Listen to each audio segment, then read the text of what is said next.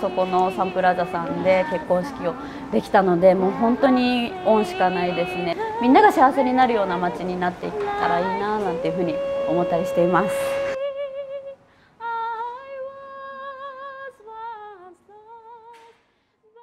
小学6年生の時にタックでバレエをやってたんです、バレエと水泳と体操と全部タックでやってるんですけど、そのタックに通わせ通っててでバレエの発表会があったんです。でそしたらうちの父が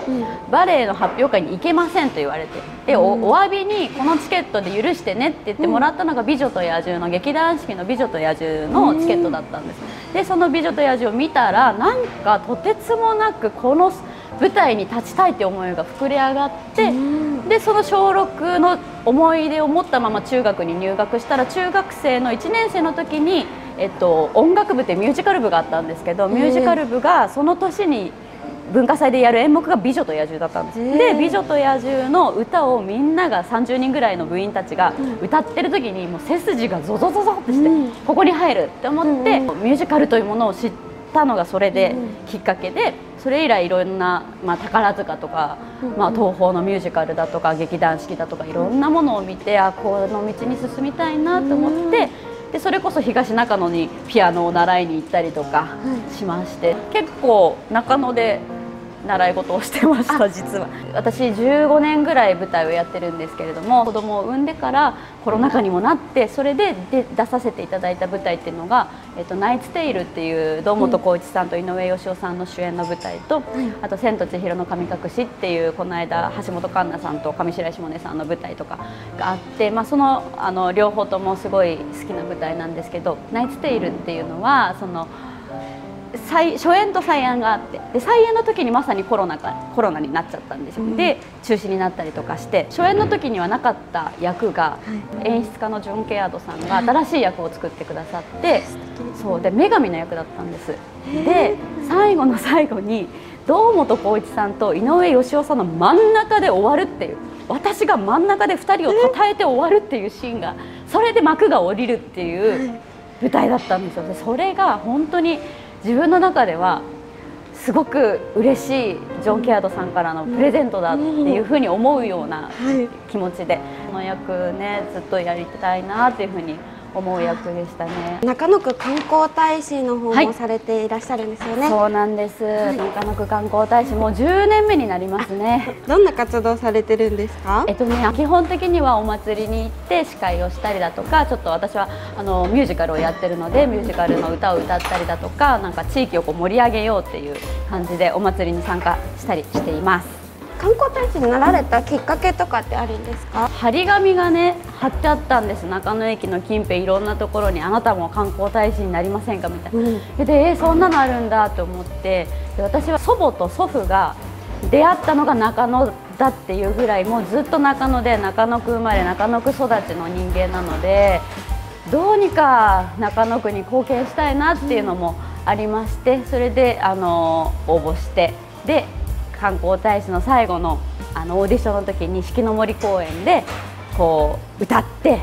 受かりましたあの時何歌ったんだったっけな多分「アメイジング・グレイス」とかその辺りだった気がするんですけど一番美声が聞ける歌ですね、ずっと中野にお住まいということなんですけれども、一度も出たことはないんでしょうかそれがないんですよね、うんそうじ祖母の家もあの北口にあって一人暮らしを始めたのも私は北口の方だ新井だったりとかしてずっと住みやすくて住んでおります。中野区の人は本当中野愛が強い方が多いですよね。本当にそうですよね、はいずっと住んでいるっていう方多いです。そう思います。観光大使になってそのお祭り自体を企画している方々のその熱意とかを感じるとすごく愛してるんだねって思います。なんか商店街とか街自体だったりとかその地域だったりとかをすごく愛してる方が率先してもやっぱりそういう方はもうず地元にずっと根付いてるっていうか、ずっと住んでらっしゃってでなんか新しくこう入ってくるチェーン店の方とかも温かく迎えて一緒に何かをしましょうよっていうその包容力とかが私はすごいあるなと思ってそういうところが好きですね。実は私丸井の建て替えの前に、うん、えーと、知ってる方は知ってるかもしれない銀座アスターっていうのが入ってて銀座アスターでバイトしてたこともあって丸井というものが大好きなんです。いい肉の日にそこの焼肉屋さんでご飯食べたりとか、うん、そこのパスタ屋さんでいつも子供とご飯食べたりとかして、うん、フードコートになってから子供連れで入ってくるのが楽だしちょっとした考え事だったりとか、その書き物だったりとかそれこそ自分ライブやったりするんですけどライブの曲目を考えたりとか、台本読んだりとかちょっとした時に使えるなっていうふうにいつも思ってて、2階のあの裏のお庭とかも好きで、もう私南口出身者としては丸井がすごい好きかもしれない、確かに今ここでやってるなっていうのもあるんですけど、うん、そうか落ち落ち着きますよね、うん、長年住んでらっしゃる織井さんはどんなところに街の変化とか感じられてますか？なんかちょこちょこやっぱりね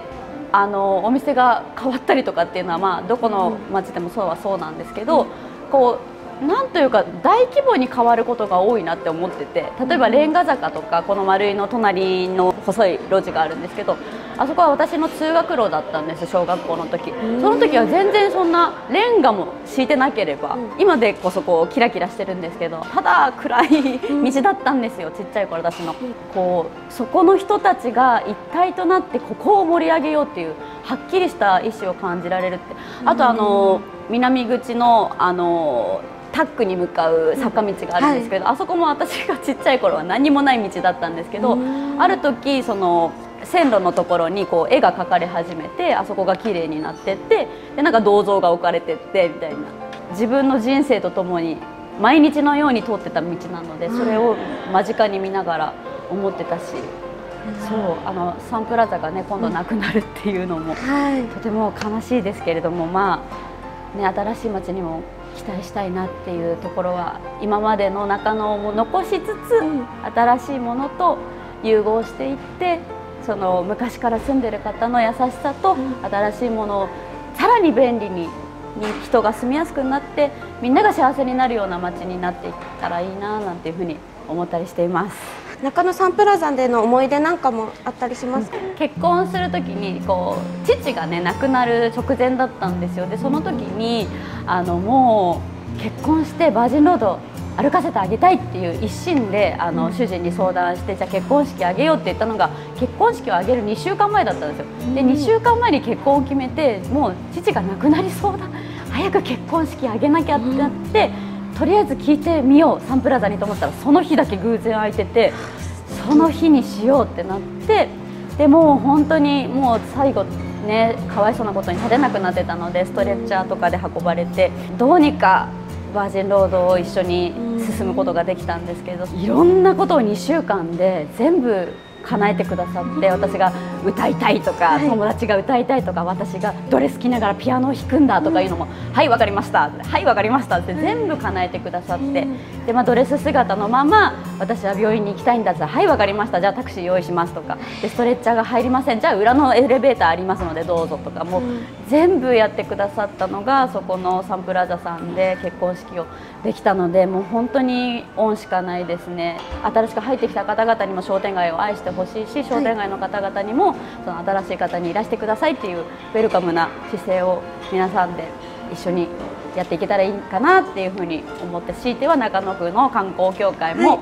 盛り上がっていけたらいいなと思います。ズバリ中野ラブいいやもう一生住みたい街ですね私にとっては。なんか歌とか歌いますか？え？いいんですか？なんか歌いますか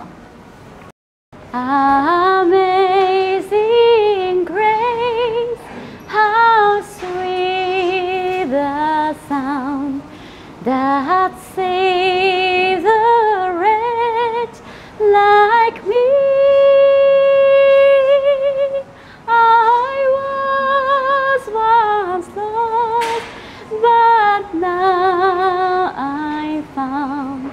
was blind, but now I see.